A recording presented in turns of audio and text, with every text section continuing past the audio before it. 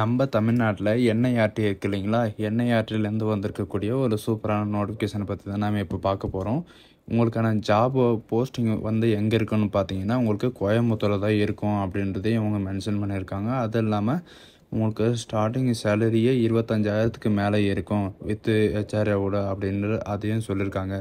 உங்களுக்கான அப்ளை பண்ணுறதுக்கான last date பார்த்தீங்கன்னா பதினஞ்சு அதாவது இந்த மாதம் பதினஞ்சாந்தேதி வரைக்கும் உங்களுக்கு அப்ளை பண்ணுறதுக்கு லாஸ்ட் டேட்டுன்னு கொடுத்துருக்காங்க. ஸோ இதுக்கு எப்படி அப்ளை பண்ணுறதுக்கு நான் ப்ரீஃபாக எக்ஸ்பிளைன் பண்ண போகிறேன் நம்ம சேனலுக்கு இப்போ தான் நீங்கள் ஃபஸ்ட் டைம் வந்திருக்கீங்கன்னா சேனலை சப்ஸ்கிரைப் பண்ணி வச்சுக்கோங்க. அதோட நம்ம வாட்ஸ்அப் லிங்க்கு கீழே டிஸ்கிரிப்ஷனில் கொடுத்துருக்கேன். அதுலேயும் நீங்கள் ஜாயின் பண்ணாமல் இருந்தாலும் ஜாயின் பண்ணிக்கோங்க.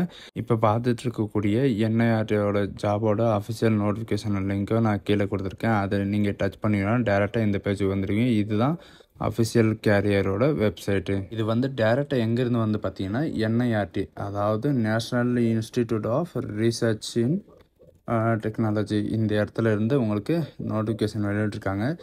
எப்போ வந்திருக்குன்னு பார்த்தீங்கன்னா இருபத்தஞ்சி நாலு ரெண்டாயிரத்தி இருபத்தி நாலு அன்னைக்கு தான் உங்களுக்கு நோட்டிஃபிகேஷன் வந்து வெளியிட்ருக்காங்க இதுக்கு முன்னாடி ஒரு தடவை நம்ம வீடியோ போட்டிருந்தோம். அதையும் பார்த்துருந்தீங்கன்னா உங்களுக்கு இது ஞாபகம் இருக்கும்னு நினைக்கிறேன். இதில் வந்து பார்த்தீங்கன்னா உங்களுக்கு என்ன குவாலிஃபிகேஷன் இருக்குது என்ன எஜ் ஏஜ் லிமிட் இருக்குது அப்படின்றத ஃபுல்லாக பார்க்க போகிறோம் உங்களுக்கு பார்த்தீங்கன்னா இவங்க சொல்லியிருக்கிற மாதிரி உங்களுக்கு டேரெக்டாக போய் அங்கே ரிட்டன் எக்ஸாம் இருக்கும் வாக் ஆன் இன்டர்வியூ இருக்கும் ஸ்கில் டெஸ்ட் இருக்கும் அப்படின்ற மாதிரி சொல்லியிருக்காங்க. இவங்க சொல்லியிருக்கிறாங்க இல்லைங்களா? இந்த அட்ரஸில் போய் தான் உங்களுக்கு எல்லாமே இருக்கும் அப்படின்றத சொல்லியிருக்காங்க. என்னென்ன ஃபார்ம் எடுத்துகிட்டு போகணும் என்னென்ன டாக்குமெண்ட் எடுத்துகிட்டு போகணும் அப்படின்ட்டு ஃபுல்லாக பார்ப்போம். இதில் வந்து பார்த்தீங்கன்னா இவங்க சொல்லியிருக்கிற மாதிரி இங்கே சொல்லியிருக்காங்க இல்லைங்களா? Days of walk in written test அந்த இன்டர்வியூ இருக்கும் ஸ்கில் டெஸ்ட் இருக்கும். பத்தொம்போது அஞ்சு ரெண்டாயிரத்தி இருபத்தி நாலு அன்னைக்குள்ளே நீங்கள் போயிடணும் அப்படின்னு சொல்லியிருக்காங்க இவங்க சொல்லியிருக்கிற மாதிரி இந்த அட்ரஸ்க்கு நீங்கள் போகணும் அப்படின்னு சொல்லியிருக்காங்க அதுக்கப்புறம் பார்த்தீங்கன்னா போஸ்டிங் உங்களுக்கு எந்த மாதிரி இருக்குன்னு பார்த்தீங்கன்னா உங்களுக்கு ப்ராஜெக்ட் டிரைவர் உங்களுக்கு டிரைவர் போஸ்டிங்கில் இருக்கும். இன்னொரு போஸ்டிங்கும் சொல்லியிருக்காங்க அசிஸ்டண்ட் போஸ்டிங் அதாவது ஆஃபீஸர் லெவலில் உங்களுக்கு அசிஸ்டண்ட் போஸ்டிங் இருக்கும் அப்படின்றதும் சொல்லியிருக்காங்க அதுக்கப்புறம் பார்த்தீங்கன்னா நம்பர் ஆஃப் போஸ்டிங் போஸ்டிங்கை பார்த்தீங்கன்னா உங்களுக்கு டிஸ்ட்ரிக்ட் லெவலில் உங்களுக்கு இருக்கும். அதாவது டிஎல்எஸ்எஸ் அந்த போஸ்டிங்கில் இருக்கும் அப்படின்னு சொல்லியிருக்காங்க. உங்களுக்கு போஸ்டிங் எங்கே இருக்குன்னு பார்த்தீங்கன்னா நம்ம தமிழ்நாட்டில் தான் இருக்கும் அப்படின்னு அதாவது கோயம்புத்தூர் தான் இருக்கும் அப்படின்றத சொல்லியிருக்காங்க. போஸ்டிங்கை பொறுத்த வரைக்கும் பார்த்தீங்கன்னா டோட்டலாக பதினஞ்சு கொடுத்துருக்காங்க. கேஸ்ட் வாய்ஸும் பிரித்து கொடுத்துருக்காங்க பாருங்கள் யூஆரை பொறுத்த வரைக்கும் பத்து வேகன்சி இருக்கும். ஓபிசி பொறுத்த வரைக்கும் ரெண்டு எஸ்சியை பொறுத்த வரைக்கும் மூணு. அந்த மாதிரி கேட்டிருக்காங்க. இவன் நீங்கள் எந்த எலிஜிபிளாக இருக்கீங்களோ அதில் போய்க்கோங்க. எஜுகேஷன் குவாலிஃபிகேஷனை பொறுத்த வரைக்கும் பார்த்தீங்கன்னா நீங்கள் எஸ்எஸ்எல்சி படிச்சிருந்தாலே நீங்கள் இதுக்கு அப்ளை பண்ணுறதுக்கு எலிஜிபிள்னு சொல்கிறாங்க இது கூட என்ன கேட்குறாங்கன்னு பார்த்தீங்கன்னா உங்களுக்கு கிட்ட டிரைவிங் லைசன்ஸ் இருக்கணும் அப்படின்றதையும் உங்க தெளிவாக சொல்லியிருக்காங்க. பார்த்தீங்கன்னா driving licence issue to RTO இவங்க வந்து ஸ்டேட்டில் வந்து உங்களுக்கு டிரைவிங் லைசன்ஸ் இருக்கணும் அப்படின்றதையும் சொல்லியிருக்காங்க.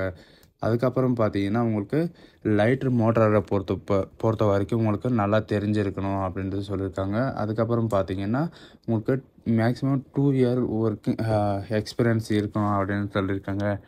அதுக்கு அதுக்கப்புறம் பார்த்தீங்கன்னா உங்களுக்கு டியூட்டி வந்து எப்படி இருக்கும் அப்படின்றது சொல்லியிருக்காங்க. உங்களுடைய ஏஜ் லிமிட் வந்து நீங்கள் இருபத்தஞ்சி வயசு வரைக்கும் நீங்கள் இதுக்கு அப்ளை பண்ணுறதுக்கு எலிஜிபிள் அப்படின்றதையும் சொல்லியிருக்காங்க. அதுக்கப்புறம் பார்த்திங்கன்னா உங்களுக்கு சேலரி நான் முன்னாடியே சொன்ன மாதிரி தான் பதினாறாயிரரூபா உங்களுக்கு பேசிக் பே இருக்கும். அதுக்கப்புறம் பார்த்திங்கன்னா மற்ற எக்ஸ்ட்ரா அலவன்ஸ் எல்லாம் இருக்குது இல்லைங்களா? அதெல்லாம் சேர்த்து உங்களுக்கு இருபத்தஞ்சாயிரத்துக்கு மேலே உங்களுக்கு ஸ்டார்டிங்கே இருக்கும் அப்படின்னு சொல்லியிருக்காங்க. டியூரேஷன் வந்து பார்த்திங்கன்னா உங்களுக்கு டூ மந்த்து இருக்கும் அப்படின்னு அதாவது ட்ரைனிங் அந்த மாதிரி இருக்கும் இல்லைங்களா? அது வந்து உங்களுக்கு ரெண்டு மாதம் இருக்கும் அப்படின்னு சொல்லியிருக்காங்க. இவங்க முன்னவே சொன்ன மாதிரி தான் வாக்கான் இன்டர்வன் இன்டர்வியூ ஸ்கில் டெஸ்ட் வந்து ஒம்பது அஞ்சு ரெண்டாயிரத்தி இருபத்தி நாலில் இருக்கும். ஒம்பது மணிலேருந்து பத்து மணி வரைக்கும் நீங்கள் அந்த டைமுக்குள்ளே நீங்கள் போய் ஆகணும் அப்படின்றத இவங்க சொல்லியிருக்காங்க. அதுக்கப்புறம் பார்த்தீங்கன்னா நீங்கள் போகும்போது என்னென்ன எடுத்துகிட்டு போகணும் அதையும் சொல்லியிருக்காங்க. அதையும் பார்த்துக்கோங்க. நீங்கள் போகும்போது பார்த்தீங்கன்னா இந்த வெப்சைட்டில் இருக்கிற அப்ளிகேஷனை வந்து டவுன்லோடு பண்ணிவிட்டு அதுக்கப்புறம் இவங்க சொல்லியிருக்கிற மாதிரி நீங்கள் ஃபோட்டோ ஒட்டி குவாலிஃபிகேஷன் என்னவோ அந்த சர்டிஃபிகேட் எடுத்துகிட்டு போகிற மாதிரி இருக்கும். ஏஜி சர்டிஃபிகேட்டு அதுக்கப்புறம் பார்த்தீங்கன்னா career certificate Aadhaar card PAN card இந்த மாதிரி எல்லாம் எடுத்துகிட்டு போகிற மாதிரி இருக்கும். அதுக்கப்புறம் பார்த்தீங்கன்னா இன்டர்வியூவில் உங்களுக்கு வந்து எந்த அட்ரஸில் உங்களுக்கு இன்டர்வியூ இருக்கும் அப்படின்ட்டு நான் முன்னாடி மேலே கொடுத்துருக்காங்க இல்லைங்களா? அதே சேம் அட்ரஸ் தான் இதுவும். சென்னையில் தான் இருக்குது இந்த பின்கோடில் சென்னையில் தான் இருக்குது அப்படின்ட்டு சொல்லியிருக்காங்க. அதுக்கப்புறம் பார்த்தீங்கன்னா அப்ளிகேஷன் எங்கேருந்து டவுன்லோட் பண்ணணும் அப்படின்னு கேட்டிங்கன்னா இவங்க கொடுத்துருக்குற இந்த அப்ளிக் இந்த வெப்சைட்டில் நீங்கள் டேரெக்டாக போனீங்கன்னா உங்களுக்கு அப்ளிகேஷன் டவுன்லோட் ஆயிரும்.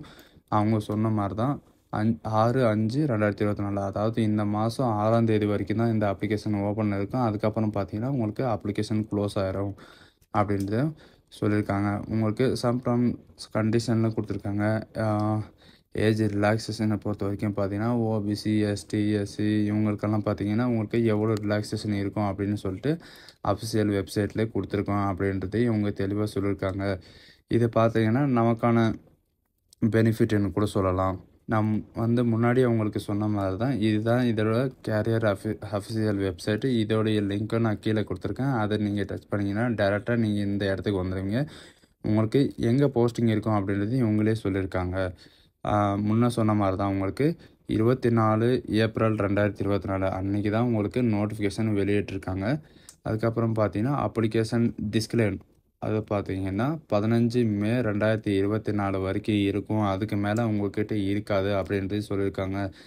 போஸ்டிங் நான் இன்னொரு போஸ்டிங் சொன்னேன் இல்லைங்களா? இங்கே கொடுத்துருக்காங்க பாருங்கள் அசிஸ்டண்ட் கேட்டகரியில் உங்களுக்கு போஸ்டிங் இருக்குது அதாவது ஆஃபீஸர் லெவலில் உங்களுக்கு இருக்கும் அப்படின்றது சொல்லியிருக்காங்க.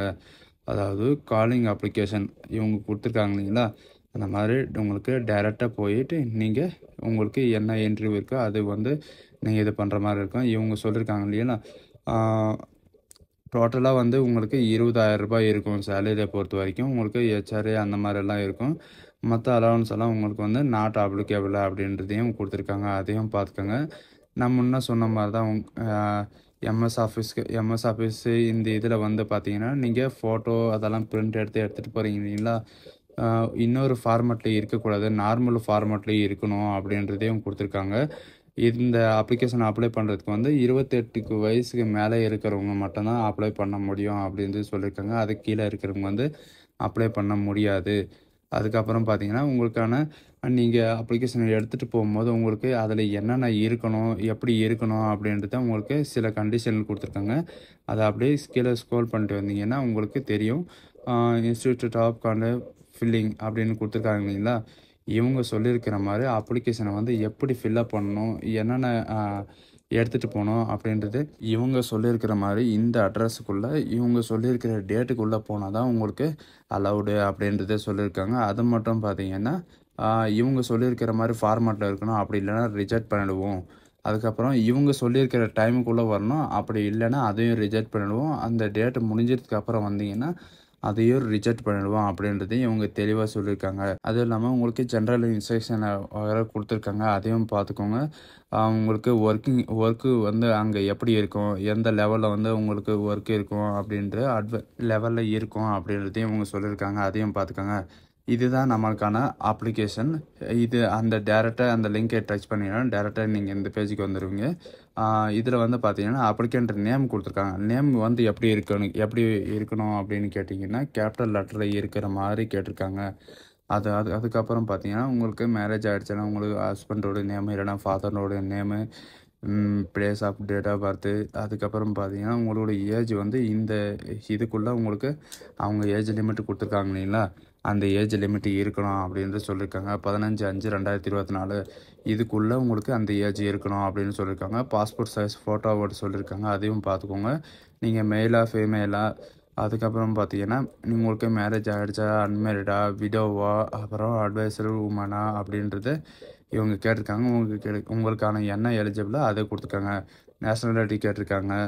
கம்யூனிட்டி ஓபிசி எஸ்சி எஸ்டி அந்த மாதிரி கேட்டிருக்காங்க. ஓபிசி இருந்தால் ஓபிசி சர்டிஃபிகேட் வேணும் அப்படின்றதே கேட்டிருக்காங்க. அதோடைய ரிஜிஸ்டர் நம்பரும் உங்களுக்கு ரிஜிஸ்ட்ரேஷன் நம்பரும் உங்களுக்கு இங்கே இங்கே ரிஜிஸ்ட்ரேஷன் பண்ணுற மாதிரி இருக்கும். அதுக்கப்புறம் பார்த்தீங்கன்னா உங்களுடைய குவாலிஃபிகேஷன் இவங்க போட்டிருக்க இவங்க கேட்டிருக்கிற மாதிரி குவாலிஃபிகேஷன் வந்து நீங்கள் எங்கே படிச்சிங்க எந்த ஸ்கூலில் படிச்சிங்க எந்த இயரில் படிச்சிங்க உங்களுடைய பாசிங் இயர் எப்போ அப்படின்றது இங்கே இங்கே கேட்டிருக்காங்க. இந்த காலம் இந்த என்ன சொல்கிறது இந்த கட்டத்தில் வந்து நீங்கள் ஃபில்லப் பண்ணுற மாதிரி இருக்கும். அதுக்கப்புறம் பார்த்தீங்கன்னா உங்களுடைய மொபைல் நம்பர் கேட்டிருக்காங்க. மெயில் ஐடி கேட்டிருக்காங்க. ஆதார் நம்பர் அதாவது இங்கே வந்து அடித்தல் திருத்தல் வந்து எதுவுமே இருக்கக்கூடாது அப்படின்னு சொல்லியிருக்காங்க உங்களுக்கு நல்லா நல்ல எழுத என்ன சொல்கிறது நல்ல கையெழுத்து இருக்கிறவங்ககிட்ட கொடுத்து கூட நீங்கள் அப்ளிகேஷனை அப்ளை ஃபில்லப் பண்ணிக்கலாம் அப்படின்றதையும் பார்த்துக்கோங்க உங்களுக்கு எக்ஸ்பீரியன்ஸ் சர்டிஃபிகேட் இதுக்கு முன்னாடி நீங்கள் எதாவது எக்ஸ்பீரியன்ஸ் இருந்தீங்க நீங்கள் ப்ரைவேட் கம்பெனியில் வேலை செஞ்சிருந்தாலும் சரி கவர்மெண்ட்டில் வேலை செஞ்சிருந்தாலும் சரி உங்களுக்கு எக்ஸ்பீரியன்ஸ் சர்டிஃபிகேட் இருந்தால் எப்போ வேலை செஞ்சீங்க? எந்த கம்பெனியில் வேலை செஞ்சீங்க? உங்களுக்கு எக்ஸ்பீரியன்ஸ் வந்து எ- எந்த வருஷம்லேருந்து எந்த வருஷம் வரைக்கும் இருக்கும் அப்படின்றதையும் இதில் மென்ஷன் பண்ணியிருக்காங்க. அடிஷ்னல் குவாலிஃபிகேஷனை பொறுத்த வரைக்கும் நீங்கள் எஸ்எஸ்ஐ தவிர வேறு ஏதாவது படிச்சிருக்கீங்க? குவாலிஃபிகேஷனாக ஐடிஐ டிப்ளமோ அந்த மாதிரி ஏதாவது படிச்சிருந்தீங்கன்னா நீங்கள் பார்த்து இதில் ஃபில் பண்ணிக்கோங்க பாசிங் ஏர்லலாம் இங்கே சிக்னேச்சர் கொடுத்துருக்காங்கல்ல சிக்னேச்சர் கண்டிப்பாக சைன் பண்ணுங்கள் அப்படி சிக்னேச்சர் இல்லாமல் இருந்துச்சுன்னா உங்களுடைய அப்ளிகேஷனை வந்து ரிஜெக்ட் பண்ணுவாங்க. ஸோ ஆஸ் இதுதான் நமக்கான அப்ளிகேஷன் இது வந்து ஃபில்லப் பண்ணி நீங்கள் எடுத்துகிட்டு போகிற மாதிரி இருக்கும். கோயம்புத்தூரில் இருக்கிறவங்களுக்கு வந்து இது ஒரு அருமையான வாய்ப்புன்னு கூட சொல்லலாம். நம்ம தமிழ்நாட்டில் இருக்கிறவங்க தான் கோயம்புத்தூர் மட்டும் கிடையாது. நம்ம தமிழ்நாட்டில் இருக்கிறவங்க வந்து எல்லாருமே அப்ளை பண்ணலாம். நான் முன்னே சொன்ன மாதிரி தான் இந்த அட்ரஸ்க்கு வந்து நீங்கள் சென்ட் பண்ணுற மாதிரி இருக்கும்.